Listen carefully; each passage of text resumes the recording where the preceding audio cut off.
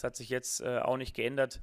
Und ich gehe mal davon aus, dass wir ähm, Samstag jetzt taktisch vielleicht nicht die größte Glanzleistung hinliefern, aber auf jeden Fall auch nicht rumlaufen wie ein Hühnerhaufen, sondern ganz, geschult, ganz gut geschultes taktisches Personal auf dem Acker haben werden, die ähm, das Spiel aber auch auf emotionaler Seite gewinnen müssen und nicht nur taktisch.